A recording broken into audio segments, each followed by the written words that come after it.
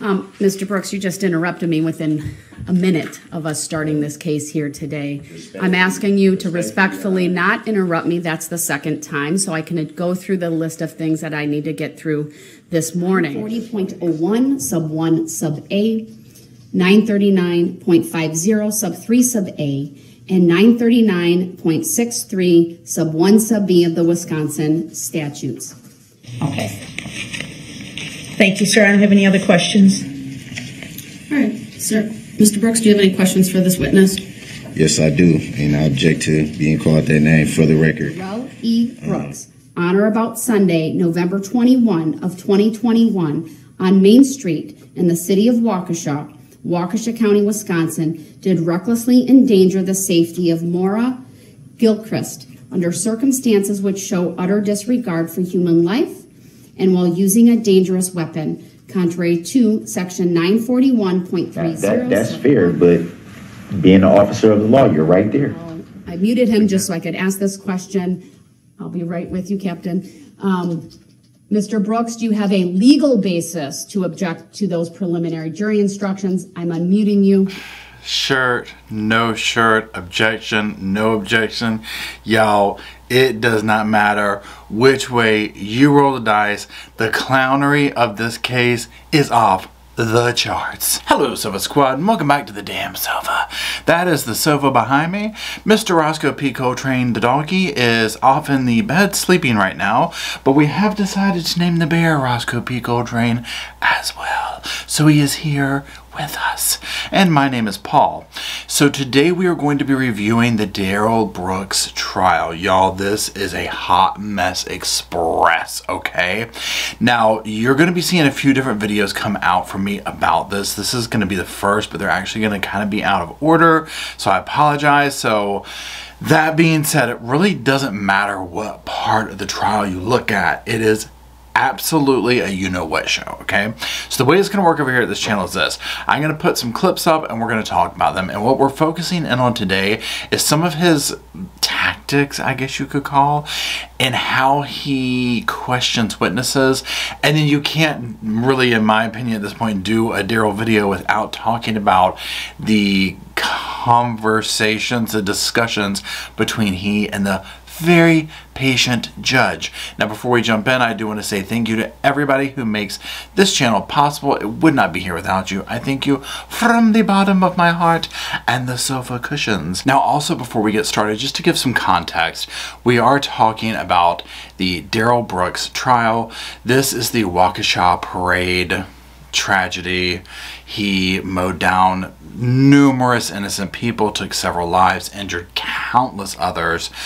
So this happened about a year ago and now he is up in, in his trial and he has decided to defend himself. As we see most of the time, these cases where the defendants try to defend themselves, it doesn't go so well. This one takes the cake, okay? I don't think I've seen a you-know-what show like this in a very a long time. It's currently going on probably at the time that you're seeing this video. It's currently still hasn't come to a conclusion yet. It is one of those where you can just tune in at any point and your mouth will be on the ground. So yeah, there's that. So go ahead and jump into it if you want to go watch the trial and come on back to the sofa when you want to hear some, you know, commentary and dish on it. Now, first, let's hear a little bit of question, a little bit of, you know, back and forth with an officer as well as Darrell. The ambulance to get you shortly. These three uh, injured individuals you spoke to, would you describe them all as being about teenage uh, years? Objection. Overruled, he may answer. This grounds, Your Honor. Um, Overruled, he may answer. So is he gonna answer to the question, to Yes. the prosecution table or to the jury? I'm not sure. He's looking at them answering the questions, but they're not answering the question, a- asking the questions. You may answer the question, sir. You know the judge is just like, is he trolling us? Or what okay? So much of the stuff that comes out of his mouth you're just like what? Is he for real So he's upset that the guy, or objecting, I should say, that the officer is answering the questions to the jury. Now, if I don't want to say like if you're trained or professional or whatever, but oftentimes people are coached. It is just proper etiquette that you look at the jury, you're talking to them, it builds a rapport. Therefore, they are the ones who are the most important person to hear this in the courtroom, right? So he is addressing the jury when he does this. Obviously, this doesn't go over well with the defendant. I noticed, uh, Officer Phillips, you are in um, uniform this afternoon. Were you scheduled to work today? Yes, So it would be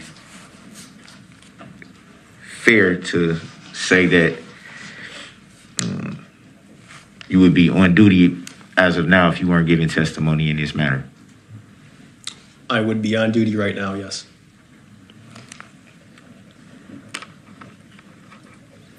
So it will also be fair to ask um, if it would be fair to say that you giving testimony right now, you're still getting paid for it.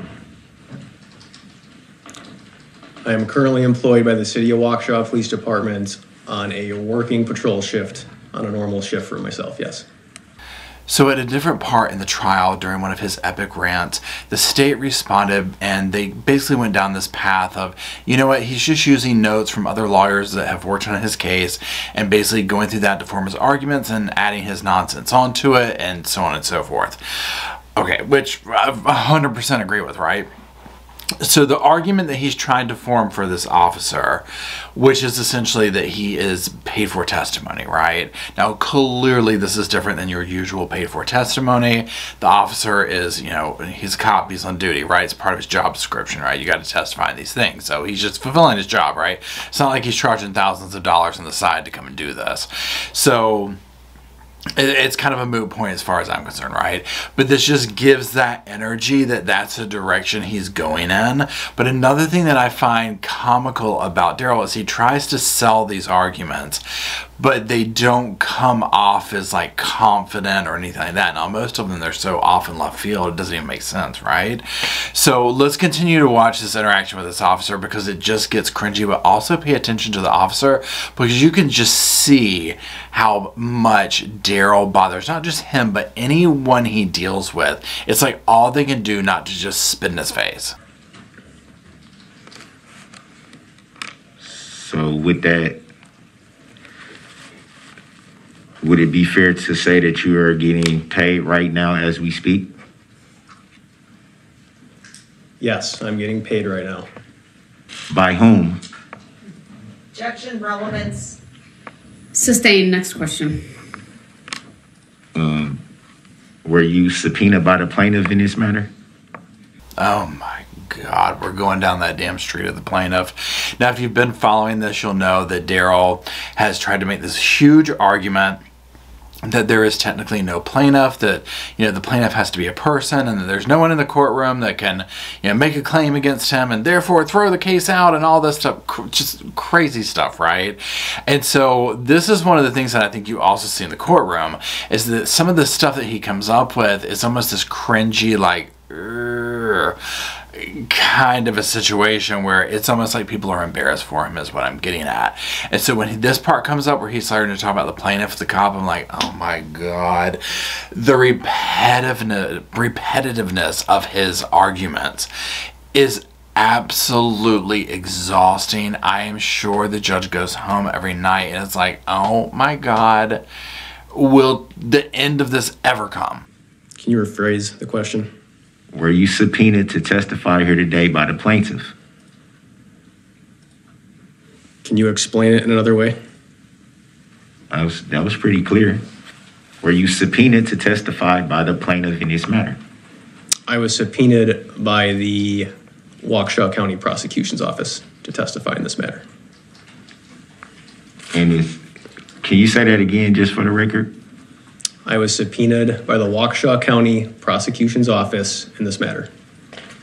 Is the Waukesha County Prosecution's Office the plaintiff in this matter? Objection, irrelevant. Sustained. I mean, again, he's not going to let that argument go. He will fight it to the end. The same as the whole thing with his name that we will see here momentarily and that we saw in the little opening clips and whatnot. I mean, the whole thing, he just keeps going back over and back over and back over and back over.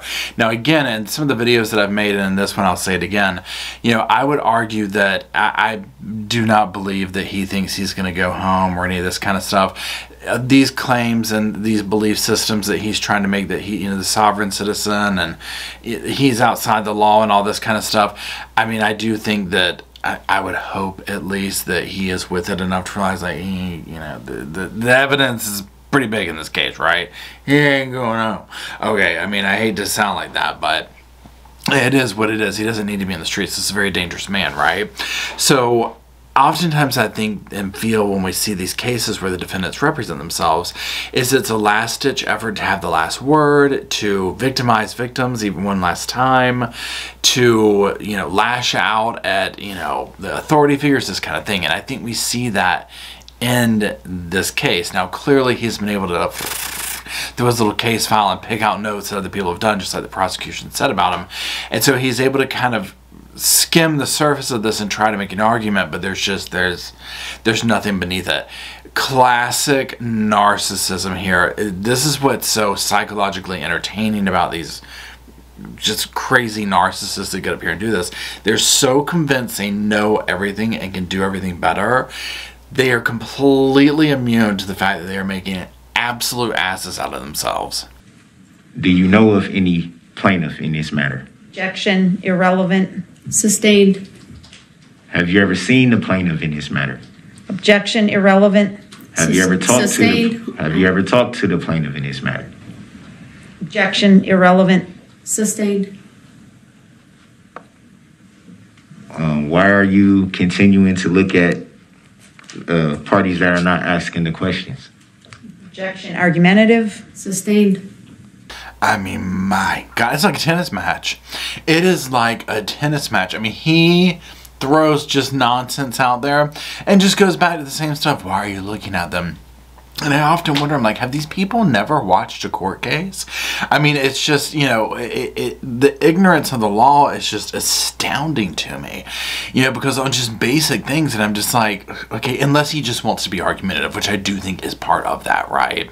I just think that he wants to cause drama. He wants to be mischievous. He wants to do this. He wants to cause a scene, right? It's any attention is good attention, stalling, delaying, proving a point. All of these things are on full display with this man. Now, let's watch him question a gentleman who was at the parade with his daughter, an off duty officer. Buckle your seatbelts up because this is another frustrating one. And now he was going to take off and run. And being a, a being in law enforcement, why would you not investigate that if you heard something crash? Why, being being an officer of the law, why would you not investigate that if you heard that? I was with my daughter, and I would in no way put her in harm's way. Well, I I would think it would be fair to say that you can't handle yourself. You you're obviously a law uh, uh, officer of the law. You're trained to be able to handle yourself. Would it be fair to say that you could have investi- at least investigated the sound that you heard, the sound like a crash, at least? Objection, argumentative. Grounds. Sustained. It's also a compound question. Please rephrase. So are these thoughts, maybe it was just a drunk driver and they're gonna they're gonna run anyway and are these thoughts and that never piqued your interest to investigate? Sometimes being a good witness is the best thing to do. That's why I called 911 to report it immediately. Now notice Darrell up there standing, you know, his arms crossed. Well, being an officer of the law, and again, it just, oh, it just makes me sick to my stomach, to be honest. Couple of things about this clip. First of all, Darrell is gaslighting the cop, trying to play the whole thing off like, well, why wouldn't you investigate it and why wouldn't you do this? And we'll get deeper into this and just see the like circular thing that goes on here. And this is a, a pattern that Darrell does with his questioning and whatnot, is just these circular arguments that usually bite him in the ass, to be honest. A couple of things again. okay, when the officer was like, I would never put my daughter in harm's way, one thing that's very sobering to me about this situation is you're seeing these people talk to him who were there, who he victimized, or who were witness to it. This horrible sounds, horrible images, horrible memories in their mind.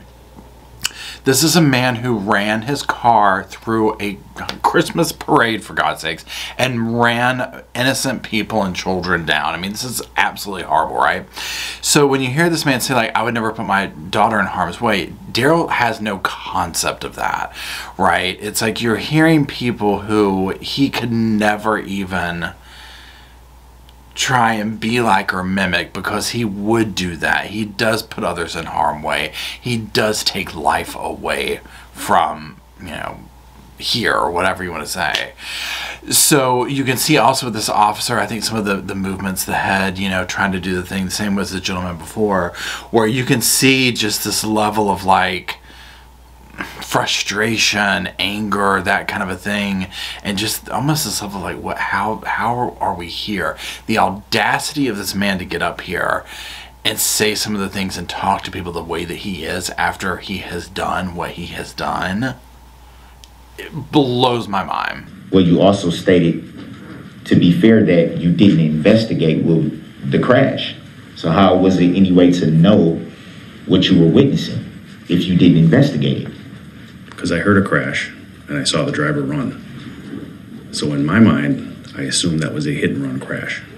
Yeah, it's almost like you add two and two and you get four, something crazy like that. Now let's watch a little bit of testimony where honestly, this next bit we're gonna watch, I felt like if these two dudes were by themselves, there was gonna be a fight, right? If there was gonna be a scenario where the guards had to tell the witness, like, come on now, like, it ain't worth it. It was gonna be this one. Do you recall the description that you gave at that time? I do. Well, my best best of my knowledge was that uh, you were either black, Latino, Who's you? or mixed. Who's you? Hold on, you have to let him answer the question first before you interrupt him with another one. Go ahead with the description you provided that night. I said that the individual was either black, mixed, or Latino. So it would be fair to say you didn't know at the time. I was giving a general description. So it would be fair to say that you weren't sure. I was positive that I was positive it was you. Who is you? You. I'm looking at you. Now, this is one of the big things in this whole trial that's like the biggest head scratcher for me is the fact that he is questioning in depth these people who literally had like face-to-face interactions with this man almost right who are literally getting up there and talking in the sense of it was you and he's like it was you went against you. I was looking at you and it happened. You know, kind of a thing. Now, this is a scenario where Darrell's in his backyard. He was much closer than they are even now, right? And so, but this has happened with other officers that are up there where they're, you know, describing him like, oh, well, your hair was shorter when you were driving, or your hair was longer when you were behind the wheel of the car, but that was you. And again, it's just like, oh my God, bro, like, this is not going the way you're wanting it to, which leads me also into the whole argument of, I. I think he just wants to get his last words in because honestly, if we were able to get a snapshot into his mind, would God help us if we really were, to see like, does he really think he's going to get out of this or not? If he truly believed he was going to get out of it, it would be grounds in my mind for insanity. There ain't no way. The evidence, it's just, it's too great, right? So there's that. Let's continue. And how did you come to that conclusion, the, the you conclusion? I'm looking at you. How did you come, how did you come to that conclusion? Did you, What conclusion? Because you- Can you restate the question? you're saying, you're saying that you gave an, a description on the non-emergency phone line, correct? It was on a non-emergency line. So it would be fair to say at that time, you had no name or knowledge of who uh, the person was in your backyard. Would that be fair to say? I had no idea who you were. And so how can you say who, the, how can you say you then if you had no idea? I'm looking at you. You are the guy. And how did you come to that conclusion? Uh, you and I were standing in the same yard looking at each other. So, is it possible you saw something on the news? No, I had no idea who you were.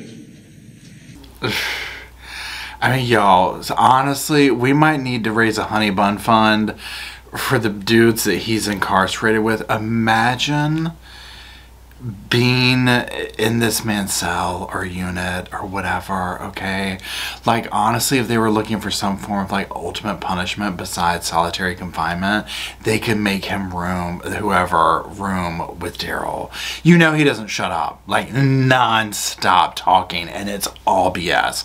Now, back to this gentleman's testimony, you see how he's getting frustrated. Now, this is just in your everyday sense. This is not somebody who's used to testifying and doing all this kind of stuff. So, to me, he's having more of a reaction like that I would expect like me or somebody to have of, you know, more easily getting worked up, right? Because you can tell like he's PO'd, right? And I would be too. I mean, I, am PO'd watching. I'm not even like I wasn't there, right? I don't have any skin in the game. You know what I'm saying?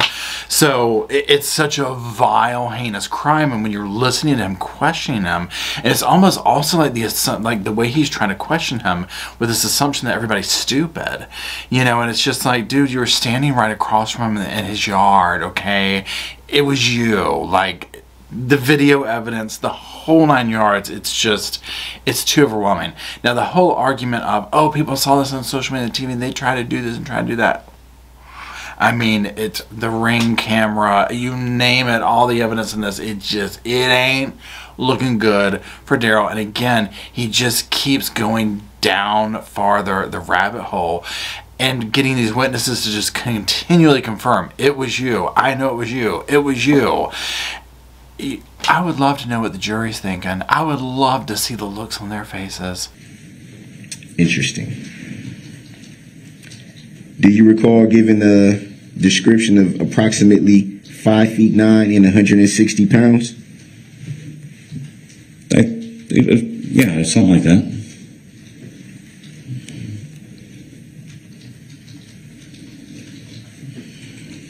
Something like that, or would that be accurate?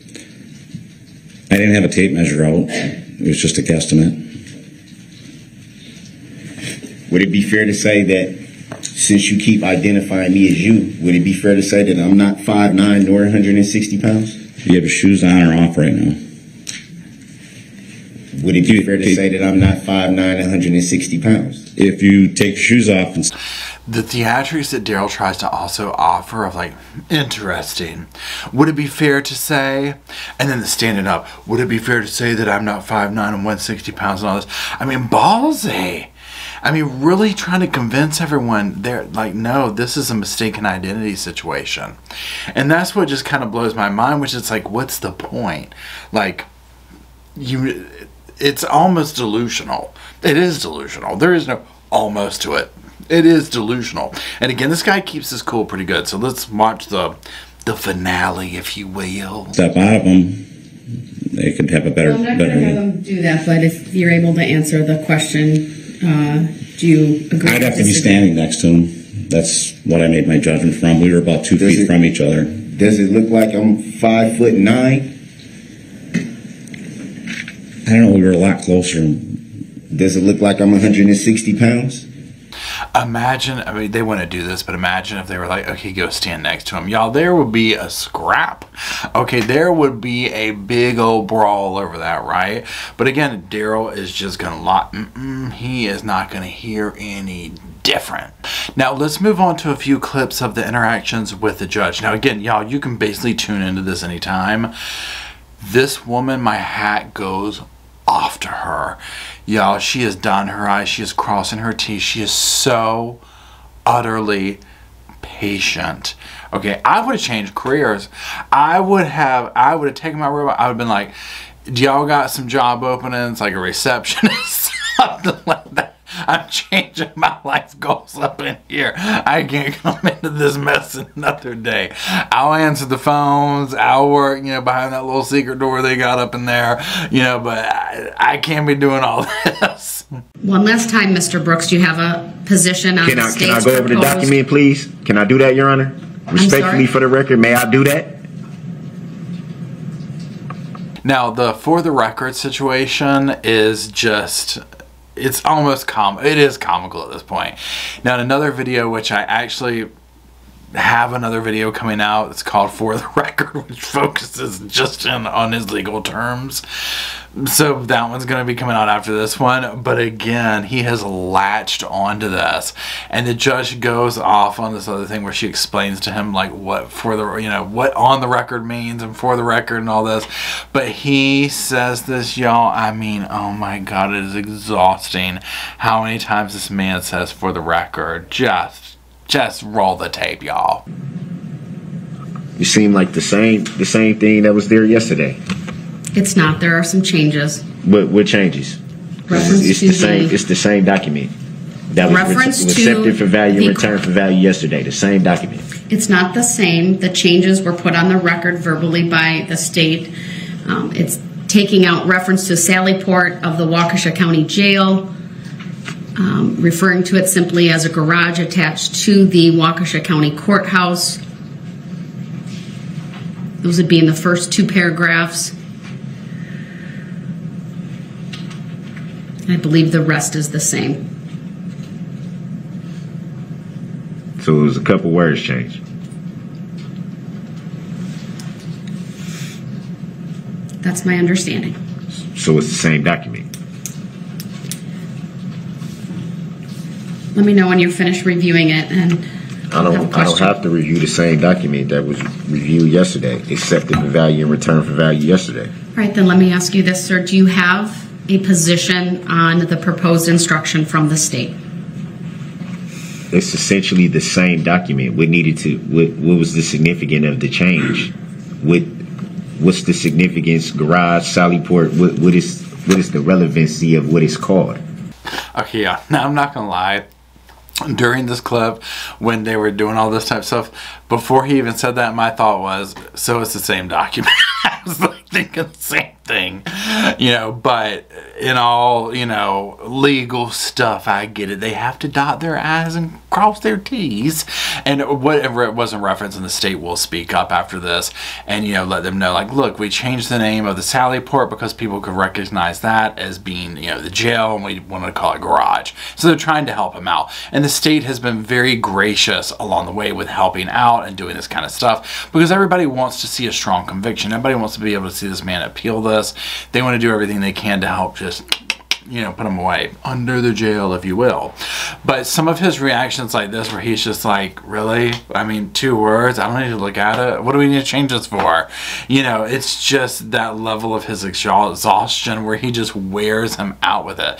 Because you know, like, all this seriousness, the way a court is, right? The dotting the I's, the crossing the T's, the make sure this is this. We have to have this meeting over this one word that's changed has to be completely boring to him, right? Especially someone who's just needing things to be explosive and, you know, noisy and drama and all this. And this is just, it's a snooze fest. Statements made by the parties or the lawyers as those are not evidence. So I'm warning you, do not interrupt again. When, if this jury comes back or when they come back and you do that, uh, then uh, you will be removed and you will forfeit your right to be present for the examination of this witness. Let's bring the jury back in. Well, well you might as well remove me then, because you, what you're doing is, is is not fair. I can't even rebut what you're saying. I didn't interrupt you. I let you make your incorrect record. I can't even rebut. the words that he comes up with also are just comical. I let you make your incorrect record. I mean, the stuff a hundred percent no respect for the, the, the area that he's in, which is almost what adds this number one, the shock to it, because we're used to seeing, you know, the certain decorum in the courtrooms, right? And then you have this defendant up there who just doesn't follow any of that, has no respect for himself, first and foremost, for his victims, their survivors, their surviving family members, and then the courtroom that he's in, right? I mean, he doesn't care about these people at all. He's wanting to prove a point, get the last word. I mean, listen to way he talks to the judge, and she is super patient with him. Now, God knows she has had to send him out of the damn courtroom numerous times because he just he cannot shut up. It is not within him to just shut up at times. Mr. Brooks, I'm bringing the jury out and we're continuing. We're going to get through these witnesses. And, and I'm not stopping you from Through your doing that. behavior, you're not going to delay these You- proceedings today. I'm not trying to gonna delay the continue. proceedings, so I wish you would stop being incorrect on the record and saying what I'm trying to do if you don't know that. You don't know what Brooks, I'm trying to do. the jury out. I'm not going to argue with you. Then, then don't. Because I'm not arguing with you either. I'm stating facts. You're raising your voice. It's Because very I'm, I'm, I'm tired of you always making a record. at me. You're making a record of me trying to look bad. I know what you're trying to do. It's not going to work. I'm making a record of what's accurately. You're making a record of incorrect statements. That's what you're doing. You're not making a record of Mr. not Brooks, being I'm advising you to be quiet because the jury's coming back out. You're advising me to be quiet. I- Is you telling me to be advising you quiet? to be respectful when the jury Are you telling me to be quiet, or are you asking me? I'm asking you and advising Okay. you. Thank you for correcting that, because don't nobody tell me what to do. I don't tell nobody else what to do. Can you imagine talking to the judge like that? Can you imagine talking to most people like that? The audacity to sit there, don't tell me what to do. This is somebody who has mowed down and I cannot get over that fact. Allegedly, at this point, this is somebody who has mowed down allegedly a bunch of innocent people at a Christmas parade, and they have the balls to talk to authority like this absolutely unimaginable. There's no words for it. I'd appreciate We're all if you we're all your tone adults of in here. voice I've never not yell at told you to sir. do anything at all. Laura, Sir, I'd appreciate if your tone of voice would change. I, I would appreciate if you would ask me. I'm a grown man with grown kids. Don't nobody ain't nobody gonna talk to me like that. Nobody. I don't have a problem with doing what you ask me to do, not tell me. Just like when I asked you about subject matter jurisdiction that you have yet to prove on the record. But somehow I'm being intentionally disruptive. Uh, Come on, man. Stop. Just stop it. Jury's coming out. All rise for the jury. Not gonna work. They had to bring up that subject subject matter jurisdiction. My God, if you've been following this, y'all, I mean, that is one of the. I, I just I cannot with that anymore. He has said that so many times. He has gone on and on and on about that. It is ridiculous. Now the other thing about this clip that stuck out to me, that just sent shivers down my spine, is he's like, "I'm a grown ass man with grown ass children," and I'm like, "This poor children." God only knows what they suffered through their whole lives. Imagine a day in the life with this man having some form of authority over you as a father. Imagine being, you know how when you're young and you look at your parents like that, like they're the end all be all, like they're your parents, they know everything, they know right and wrong. Imagine that is your example of it. I, I can't. I can't. I just, I can't. it's just shocking. And again, the judge just sitting there biting her tongue, biting her tongue, because you know they have to be thinking the same things. You know, when you see someone like this who, again, they have no respect for themselves, no respect for the victims, no respect for society, nothing, unhinged. And then they get in this environment like this, all the way to this situation, right? Where he's up here defending himself, if you want to call it that, and just coming to this courtroom with this nonsense. It's just a continuous slap in the victim's face. Now, if you want to watch me talk about another defendant who didn't represent herself, but who got up on the stand and literally talked everyone to death and herself into prison, then go ahead and click this next video and be sure to subscribe to catch my other videos coming out soon on the Darrell Brooks case. Thank you very much. I'll talk to you soon.